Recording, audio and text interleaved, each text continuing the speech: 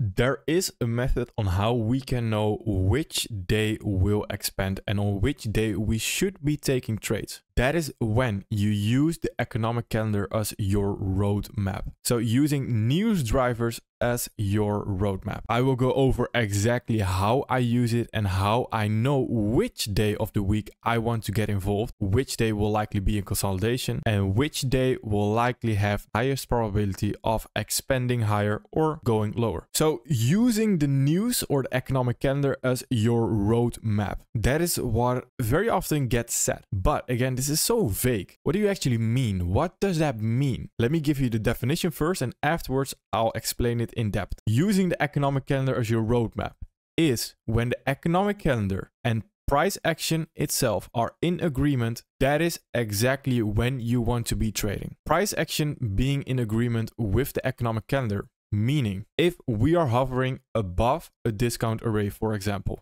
and on that day that we are hovering above a discount array and we have news. So we have an economic calendar news driver for that particular day. That is exactly when the economic calendar and news are in agreement. That is when you want to be trading. So let me explain that. Here we are on gold. Let me give you some context here on gold. This is exactly what we went over as well in the free weekly forecast. We had this fair value gap, that daily fair value gap to work with right there we were targeting all that liquidity, but the main target was this daily fair value gap.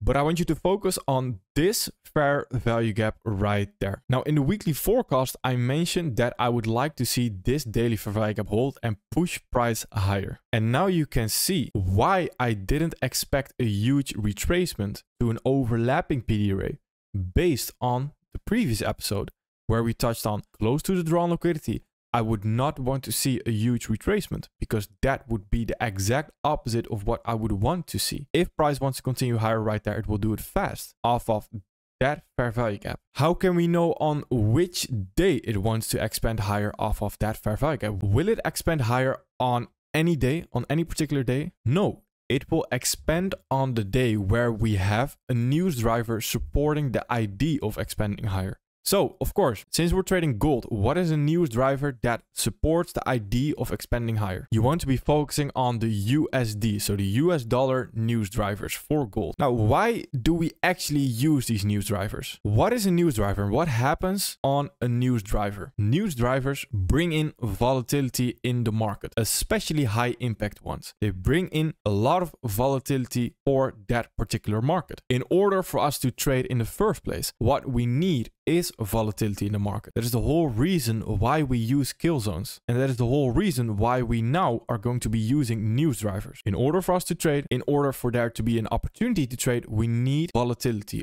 always. If there's no volatility, you will see price action like this, consolidations, rangy price action. So I would argue that kill zones are very volatile for a certain session. So kill zones, when you want a lot of volatility for your scalping trades, so maybe your one minute trades, etc., focus on kill zones with close targets, short duration of time. That is when you focus on kill zones mainly. But if you want to focus, and again, this can also be beneficial for you as a scalper, when you want to focus on Will the day itself actually move and will the day expand? You want to be focusing on the economic calendar. If we have USD news, USD Empire State Manufacturing Index, for example, then all the USD instruments that are related to the US dollar.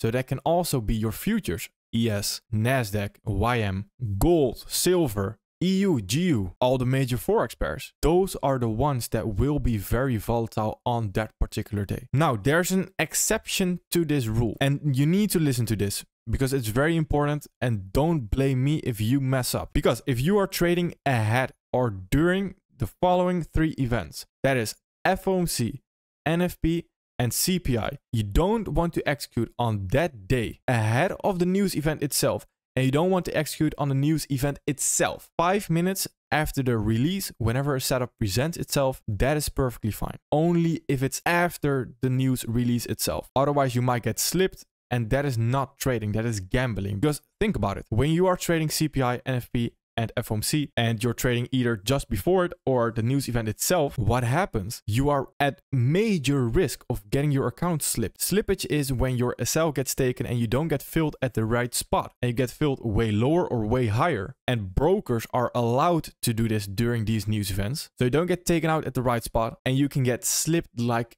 absolute crazy. You can lose a lot of percentage. You can even lose your whole account or even your funded account. When that happens, you are risking your whole account to make only 3%, 4%. So the risk to reward is not in your favor. The odds are not in your favor because you need to have a 100% win rate in order for you to then be profitable. And no one ever has a 100% win rate. Nobody. So sooner or later, you will mess up.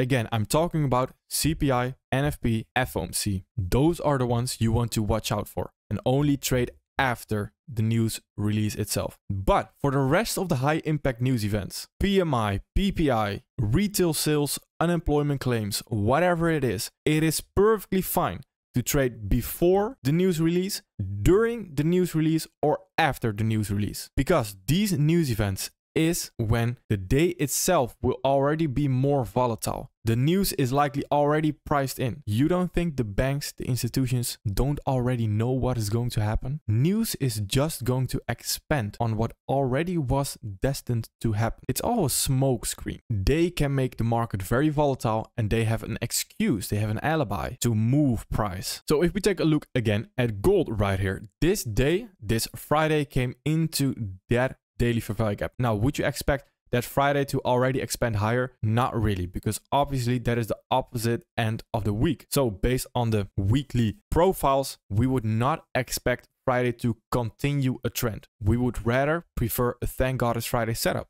like we talked about in the weekly profiles. Now on Monday, Monday makes the low of this week right here stinging into that daily fair value gap. Why? Reason being because Monday already had high impact US dollar news right here. And you can see Tuesday is a huge expansion as well.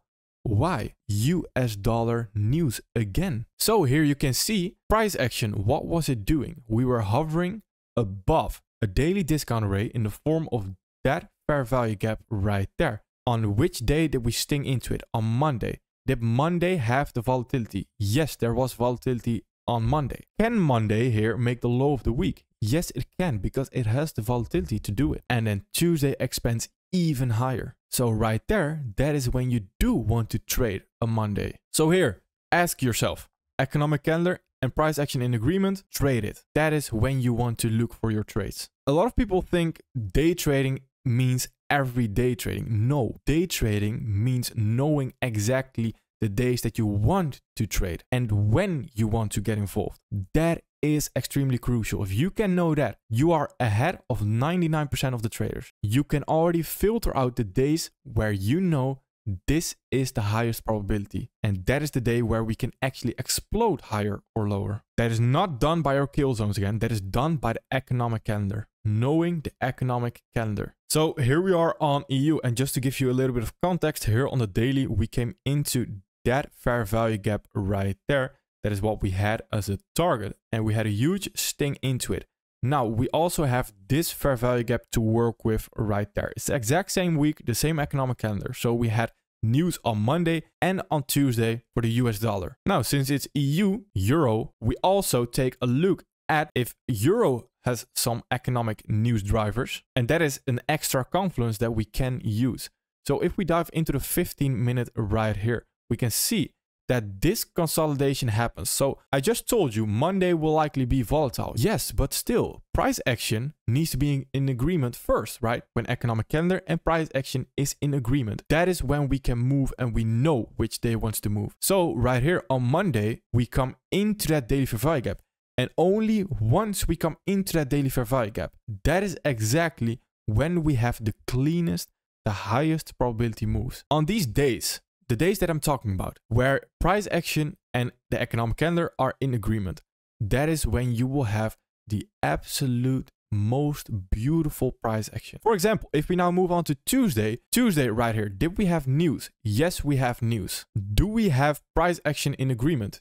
Yes, because we reached that target. So we go into the 15 minute and look at what price action potentially wants to do. And what happens? We sting into it right there.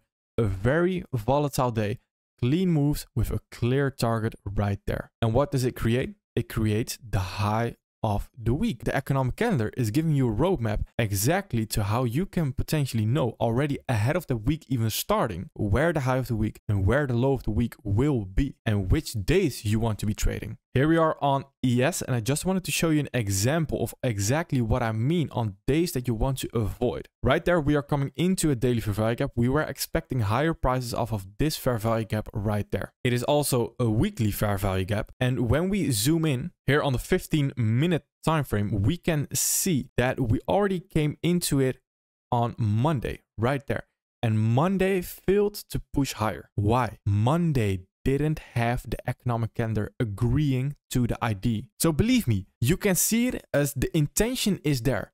Price wants to move higher. There's no doubt. Price 100% wants to move higher. The intention is there. It just doesn't have the energy to do it. There's no volatility to do it. It needs energy, aka volatility, to do it. Where's the energy for that week? Where's the volatility coming into the market for that particular week? Tuesday. Tuesday had the economic calendar on its side. That is exactly when you can avoid this price action right there. And that is exactly how we managed to avoid that price action. Now you can avoid getting stuck in price action like this, where we don't actually expand higher and follow through. And instead, we can focus on days like this, where we have a beautiful expansion. And not only that, you now can get to a pair and an instrument you can trade. If you can look at the economic calendar and you see there's Canadian dollar news, for example, then where will the moves likely happen? On pairs and instruments that are closely related to the Canadian dollar. So, for example, USD Canadian dollar or Canadian dollar JPY, because you know